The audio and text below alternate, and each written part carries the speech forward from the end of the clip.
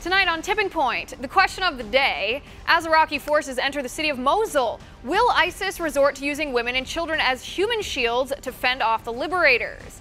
Then, when did exposing voter fraud become a form of voter intimidation? And if the FBI finds evidence that either Hillary Clinton or Huma Abedin broke the law with their emails, what happens then? Don't miss Tipping Point with me, Liz Wheeler, tonight at our all new time, 9 p.m. Eastern, 6 p.m. Pacific.